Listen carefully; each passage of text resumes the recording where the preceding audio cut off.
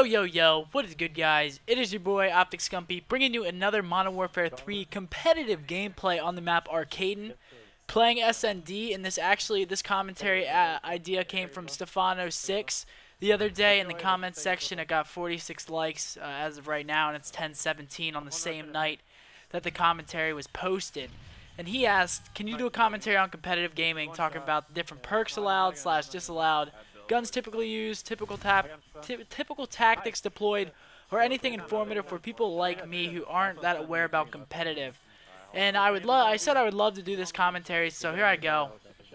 I'm gonna do it for you guys right here. So let's start off with the perks that are usually used in competitive. You're usually seeing extreme conditioning in the first slot, then quick draw pro in the second slot with dead silence pro in the third slot. And sometimes an SND scavenger will get flip-flopped out for uh, extreme conditioning because people people like to spray through the walls with impact sometimes when they have an ACR. So that's also something that people will use. They'll they'll get 180 bullets so they can just keep shooting. And um, those are usually the perks that you're going to see used. That's pretty much what everyone uses occasionally, and you'll also see a sleight of hand, uh, sleight of hand pro in a CTF match, or maybe even in a search. They're both. I mean, it's pretty irrelevant to use them. It's really not that great to use because uh, you can't really help your team out as much with the running flags and things uh, like that. So that's not used as much.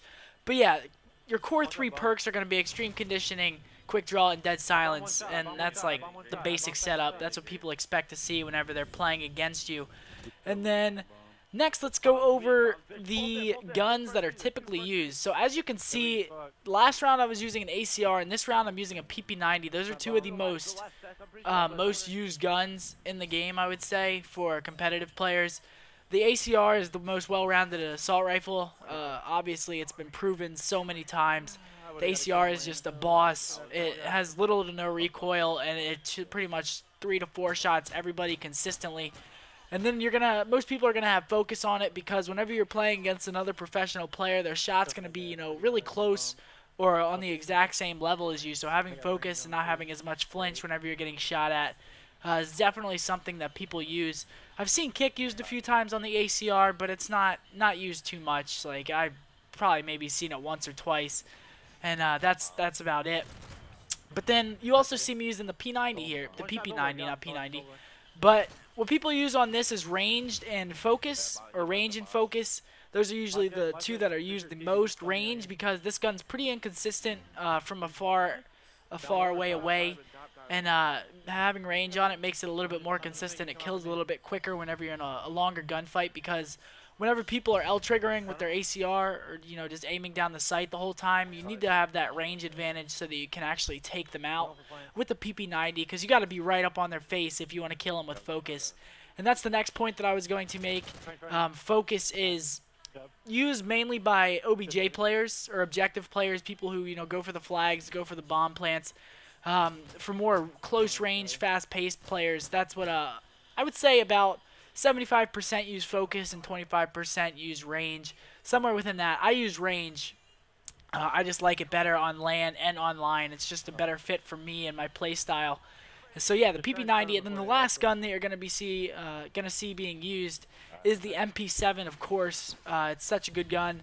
Pe people pretty much only use focus on that gun. Range is not used at pretty much all. It's really pointless because that gun is like a a pea shooter. It just shoots so accurately and so quickly that uh, you don't really need anything uh, on it other than focus.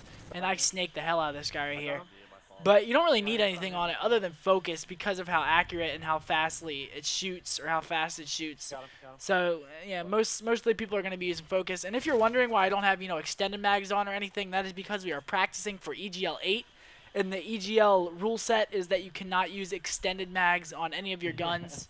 So we just don't use anything at all. We just prefer to just use the iron sight with nothing on it. Because it really is just better. It's just a comfort comfortability thing and uh, makes you more comfortable while you're playing if you're using the gun that you're you know you like to use. But now let's go into the next one. Typical tactics deployed. Um, in SND, it's usually two people on the main bomb site, one person in the middle of the map, and then one person watching the flank. That's that's usually I would say the you know that's the setup that teams are going to be using most of the time unless they're trying something really risky and new. But if you're just playing a standard game, that's basically what you're going to be seeing. So for example, on this map, you're going to be seeing two go top beef P-bomb, then one go bottom escalators uh, off the start, bottom escalators to bottom mini. Like that guy, he just went down low and then ran right through, which wasn't very smart of him. But and then you're going to see one more person go to the A bomb site, usually near bar side. And that's like the typical setup for this map. That's what teams are going to be using a lot of the time because it's safe. It's really safe and it's consistent if you play it well and you don't challenge the other team. It's really hard to break through unless, you know, somebody messes up on your team. And then for offense, I would say our our strategy is pretty, you know, standard. I go bottom mini, Joey goes top uh, diamond, which is where the, you know, the escalator's up top, and I don't know how that guy didn't die. But Rambo goes top paint or montage room, as you can see right here, and then uh, Will goes to the soda machines over there. So that's our strategy for S&D on this map. We switch it up sometimes, obviously, because if you do the same thing, the team will just read you like a book, and you can't really do much whenever they know like exactly where you're gonna be. They just they set up accordingly, and then they go to work on you. But yeah, so that's that's pretty much the S&D setup you're gonna be seeing, and then in CTF. I mean, there really is no strategy in CTF. It's really spontaneous, and it's whoever can get the kills at the right times, uh, block spawns at the right times, things like that. But for guns in CTF, you're usually going to be seeing two ACRs and two SMGs, so two people can hold down uh, like spawn traps and long range fights, and then two people can be up in their face trying to pull the flags. And uh, don't take that in the wrong way. The ACR players can still pull the flag. That's why they're using extreme conditioning. Uh, like I said, for the perks earlier, they're going to be pulling the flag to make sure that you know you're going to be winning uh, and getting as many flag pulls out as possible and being efficient as possible while slaying and pulling the flags. That's that's the sign of a really good slayer, somebody that can kill, but then at the same time can pull back and pull a flag every now and then whenever you need to get one out and you need to get that win. That's that's one of the signs of a very good Slayer and a consistent Slayer at that, and not a kill whore, because kill whores will just straight go for kills, and they'll disregard the flag, and sometimes it can really hurt your team, but sometimes it's helpful. But I would say it hurts your team more than it is helpful. And that's that's just about it for tactics. Um, there's nothing really else to you know crazy except for callouts. That's another thing that professional players do exceptionally well.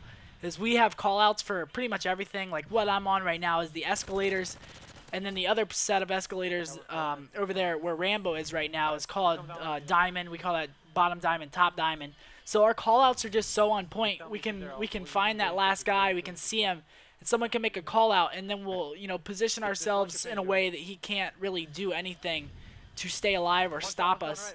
And that is really everything that I have to talk about with you today, guys. I ended up going 12 and 3. The scoreboard will show quickly right there. Thanks for watching, guys. If you enjoyed, leave a comment, favorite, subscribe it, and yeah, baby. Peace.